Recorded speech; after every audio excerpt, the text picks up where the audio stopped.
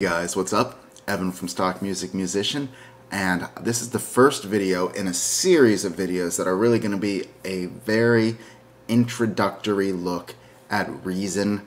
Uh, basically, Reason 8, 9, and 10. I'm making this right now as Reason 10 is just about released, but it will also more or less apply to previous versions of Reason. Um, so in this first video, what we're going to do is we're just going to very uh, very like cover the main interface of Reason from a very high level um, and focus sort of on just navigating the software and getting it to work for you, getting set up, all of that. Then in subsequent videos, we're sort of sort of dig into the interface in more detail, focusing on Reason's mixer, its rack, and its sequencer, and then also sort of on the different instruments and effects and things like that. Um, so let's get started. This here is the main Reason panel that might show up when you start Reason. And you'll notice there's basically four sections here. You've got the mixer, and it says mixer, although it doesn't view very well like this. You've got the rack, which is where you'll have your instruments and your effects. And then down here you've got the sequencer, uh, which is where you'll actually be able to record and view the temporal aspects of your recording um, and also monitor some aspects of it. Um, then on the left you have the browser and on the bottom here you have sort of the transport control. Um, so you can resize any of these windows by dragging them around or you can double click on or just single click on any of these to shrink them um, out of view. Also, another way that you can navigate this, and this is how I actually prefer to do it, is go to the window and say detach main mixer and attach rack window. And so now you have three separate windows here.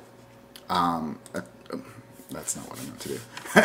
uh, you've got three main windows here, your mixer, your racks, and your sequencer, and you can hit F5, F6, and F7 to go to them respectively. Or you can set that up on your keyboard or your mouse, or you can hit Alt Tab.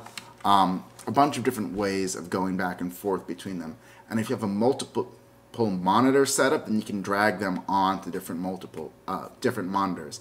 I've seen a lot of people have really good success with actually taking a monitor and flipping it from portrait mode to landscape mode and then putting their rack browser in it sort of um,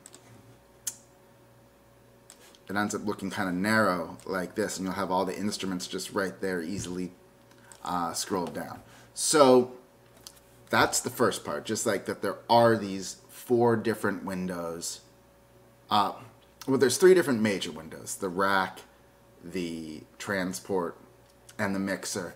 And then the browser you can use in some of the windows, but not in others and the transport you can use in some of the windows, but not the others. So, um, we'll, and we'll get into those in future videos. But um, let's start out, if you hit F5, it brings you to the mixer. Um, what I want to point out on the mixer, just from a high level, is that um, this is basically, it starts out with just your master channel here on the right, and then if, as you create instruments, and don't worry about this because we'll get into this in depth, then it actually creates full-on mixer channels here. And you can see on the right, you sort of have a mini representation of it over here. And this is just like a, a digital representation of an actual honest-to-goodness mixer that you might see at a club or in a PA system. Um, so that's what this thing, this view is about. And this is about setting your levels, doing some EQ, using effects sends, um, and it's sort of modeled on SSL compressor. I mean, an SSL console. Um, so now if you go to the next window, that's part of it, um, you get to the rack section. And you can sort of think of this as like hardware synthesis, um, modular synthesis, where what you could do, we'll use the browser here actually. Um, no, we won't do, we'll get to the browser in a second. So you would create um, a Reason device. So we'll do a subtractor, which is one of the classic instruments in Reason. So you've got the instrument here, you've got all the different ways you can edit it, just like you would in a regular, real, honest to goodness piece of hardware. But then there are also effects that you can insert into it by going to show insert effects. And then you can right click or you can drag from the browser and we could do an effect like a delay, for example. Um, we'll just go to Reason, the echo. And so now the way the signal path would work is it would go from the instrument into this insert effect, and then it would go out to the mixer. Well, it'd all sort of be going through the mixer. No, ac yeah, no, it all occurs in here, and then it goes to the mixer, although you can change that to be as accurate as possible. Um, and then you could have a second instrument, or a second effect, that's a better way, like the scream distortion. So right now it would first go to the echo, then it would go to the scream distortion. Um, but let's say you actually want it to go to the distortion first and then the echo. Well, you've got a few ways of doing that, but if you hold shift and raise it above it, um, and we'll get into all this in detail, but this changes the um, order that the song sounds are processed in. And if you just drag them without holding shift, it doesn't. Um, then you can also go to the browser and click here on effects, and we could also add a guitar amp at the end. And you can drag in anything, and then there's presets here in the browser that you could drop in.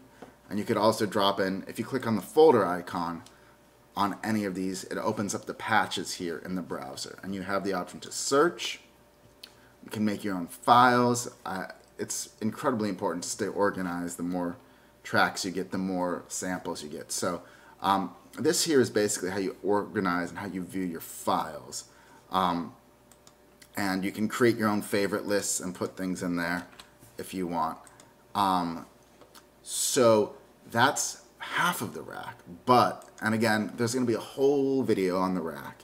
But if you hit the tab key, and I don't want to overwhelm you, but if you hit the tab key, then it takes you to the back side of the instruments where you can basically draw in patch cables just like you would with a guitar pedal almost, right? You can patch your various guitar pedals together to have them affect each other and you can send signals from one to the other.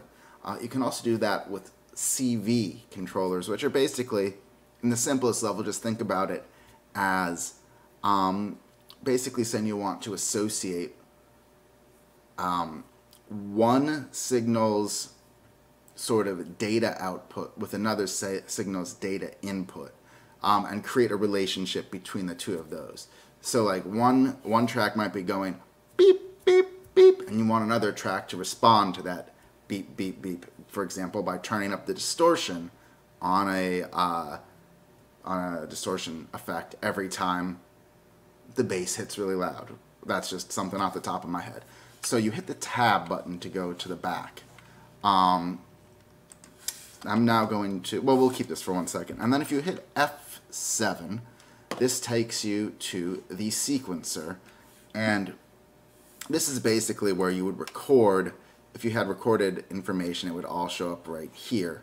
And I'll open a quick video, or a quick track just to show you that. So, um, you can organize parts of the song along the top. You can see here you've got audio data and um, it actually doesn't look like this song has MIDI data on it. But if you had a MIDI channel, it would appear in these tracks as well.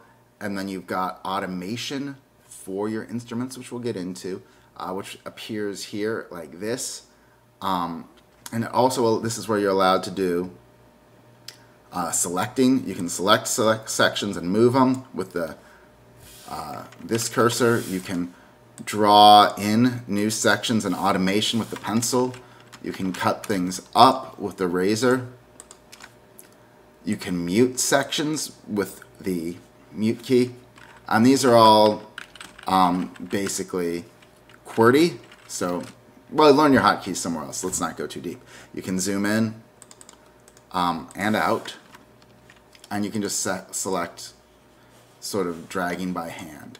Um, and so you can zoom out. Here's the zoom out, zoom in, and again, we'll get this to this later um, in a separate video. But basically, this is where you have all of your data, your track information. This is how you can sort of monitor. There's a tuner here that you can see easily, and you can mute solo.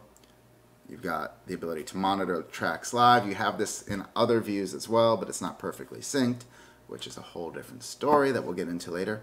You can also access the browser here as well.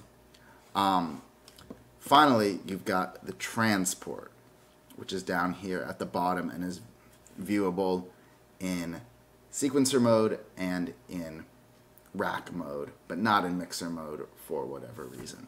Again, Reason's a great piece of software, but there are some things that bother me. Um, so in this video, we actually will get into the transport a bit.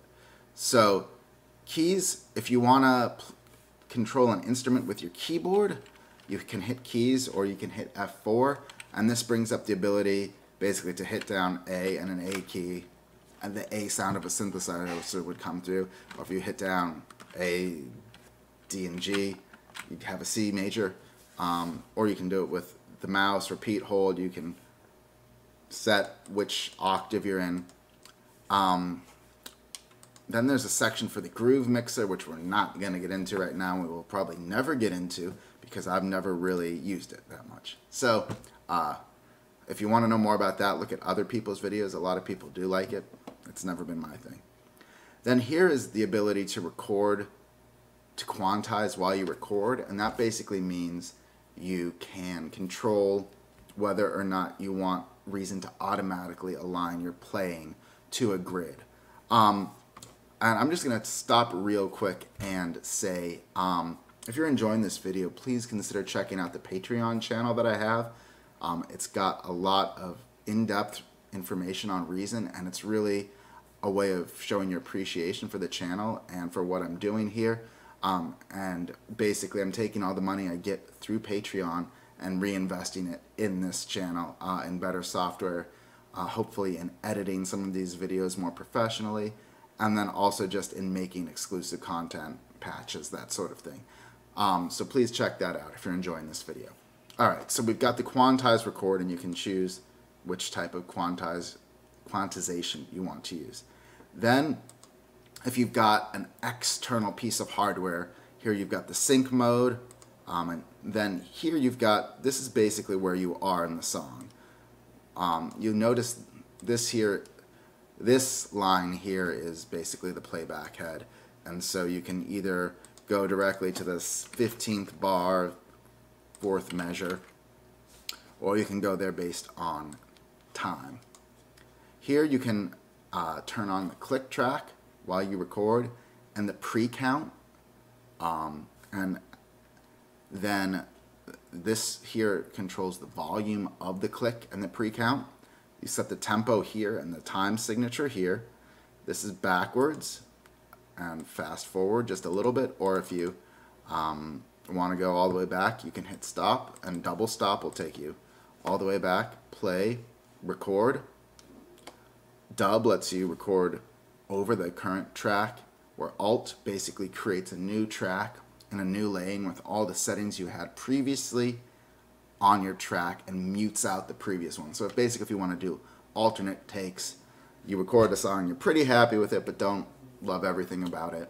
Uh, hit Alt, quickly get a new track, keep going, and stitch them together. This here is enables loop play, and it will loop the song between the L flag and the R flag um, which is really helpful if you're doing if you just want to get like one part of a song down, whether mixing or whether performing. Um, and this here is the left indicator, the left flag, and this is the art right flag, and you can either drag them around up here or manually over here. Um, then this sort of tells you a few important pieces of information, whether you're using an authorized version, whether you're having disk problems, which means you might want to get an SSD, and whether you're having um, sort of, we'll get into automation, but whether or not automation is actually playing or whether you're overriding it with the actual hardware device or with by controlling an automation some way different than the note information already recorded. Um, then you have the calculator, this thing here which spins when you're doing uh, complex audio rendering tasks like bouncing or um, creating samples within your program or exporting. Um, and that'll take a while to fill up, but a different dialog box will also show up. Then you've got the DSP, which shows how much of your uh, processor is being used. And this really is processor more than anything. It doesn't have too much to do with RAM. It doesn't have really anything to do with your hard drive, although they will improve performance. This is processor use. Then here you've got a small thing showing your overall input and the overall output. Uh, nothing's playing right now, so nothing's on the output. And then you have the ability to enable delay compensation or not. Um, and so sometimes when you have multiple effects on channels, on parallel channels specifically, um, there can be a phase delay between them. This is sort of advanced stuff. You don't need to worry about it right now. Uh, the big thing I would just say is if you're in the recording stage of your song, turn it off because it uses up a lot of processing power. And then when you're in the mixing stage, turn it on because you don't need as much speed. Um, I made a series of videos about how to uh, get the best performance and reason, and I'll put a link down to them below, um, and this is part of it. And finally here is the logo for dropping Allihoopa, which is Propellerhead's proprietary online sharing site, if that's what you want to do with it. Um, so that's a very high level overview of what goes on in Reason, and it is it's a lot to wrap your head around. I've been using it for about 15 years, so I'm pretty familiar, and I hope I didn't go too fast. But if I did, please let me know. Again, there will be videos that actually go into detail about the mixer, the transport, and the rack section. Not the transport, this was sort of in depth on the transport, the mixer uh, and the sequencer. Um, so I'll get into those issues there, um, and also with CV and all of that. But I hope you enjoyed this. And if you did, please give us a like and a subscribe and consider supporting the channel on Patreon.